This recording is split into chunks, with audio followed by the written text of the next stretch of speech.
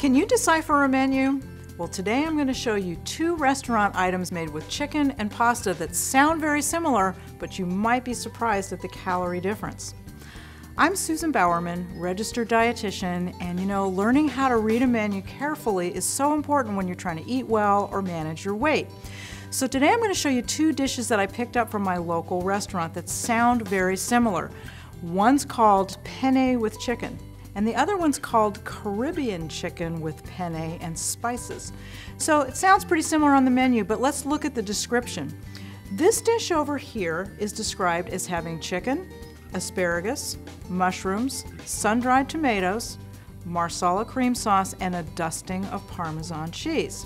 The other dish is called chicken with penne, and it's described as having asparagus and tomatoes and mushrooms, and it's dusted with some herbs and some spices. So they're similar in ingredients, but quite different when you start to look at the calorie count.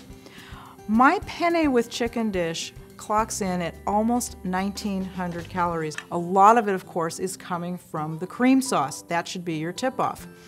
The portion size is pretty good, but it's also giving you 23 teaspoons of fat. Now the Marsala cream sauce, as it was described on the menu, we know is going to add some calories because it's creamy and it's rich.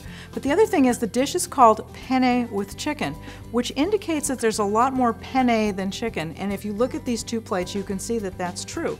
So even though we have asparagus in both dishes and mushrooms in both dishes, there's a big difference in terms of how much starch and fat we have in this dish.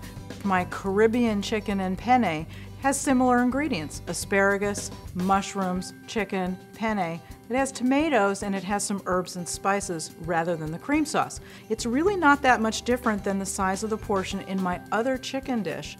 And this chicken dish here has only 569 calories. It's significantly less. It only has 20 grams of fat. That's four teaspoons versus the 23 we had in the other dish.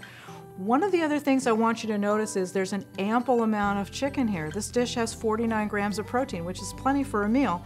But the other thing you'll notice is it has a little bit less of the starch of the pasta and it has more of the vegetables. And that's just such a great way to give you more volume without having a lot of extra calories is, you know, decrease the fat, decrease the starch a little bit, pump up the vegetables. So when you look at these two dishes and when you're looking at your menus, one of the things is to look carefully at your descriptions. If you see cream sauces, if you see things that are battered or fried, you kind of know what's going to tip you off to high calories. It's always your choice when you're going out to a restaurant, but I think it's best to go and be informed. If you decide that you really want this creamy dish, just know how much you're eating, know how many calories you're eating, how much fat you're eating. Maybe you save it for a special occasion or you share with a friend, but know that oftentimes there are healthier options.